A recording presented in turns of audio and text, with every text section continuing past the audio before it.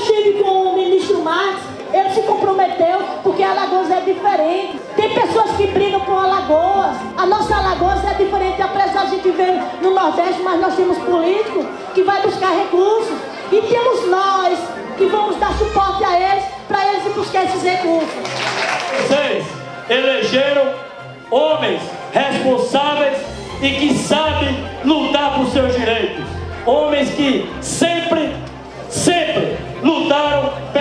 trabalhador. Nós estamos avançando e tenho certeza que o que depender do ministro Marques, nós vamos avançar, crescer e tentar, sobretudo, resolver o problema de vocês.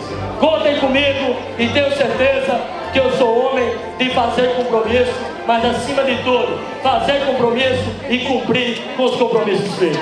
Um grande abraço e contem comigo.